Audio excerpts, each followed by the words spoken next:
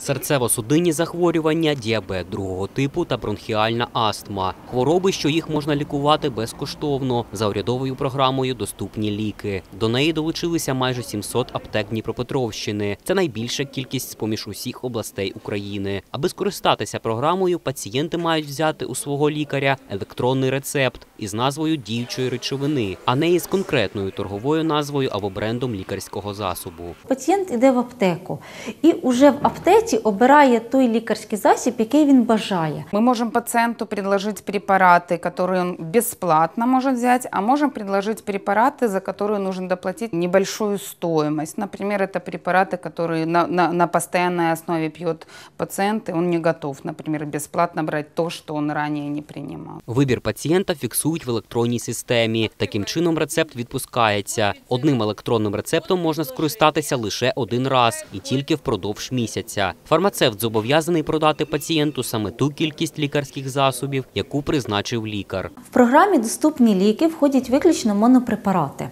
Але якщо пацієнт користується лікарським засобом, який є комбінованим, і комбінація цих лікарських засобів окремо входить в програму Доступні ліки, то такому пацієнту лікар має можливість виписати два електронних рецепти. Загалом у реєстрі доступних ліків 254 препарати, 78 із них безкоштовні, решта відпускаються з незначною доплатою. 146 лікарських засобів українського виробництва, 108 іноземного. Найдорожчий препарат, вартість якого повністю відшкодовує держава, коштує 863 гривні. З усім асортиментом можна ознайомитися на сайті Національної служби здоров'я. Протягом липня 2019 року відбулося оновлення реєстру лікарських засобів, які підлягають реімбурсації.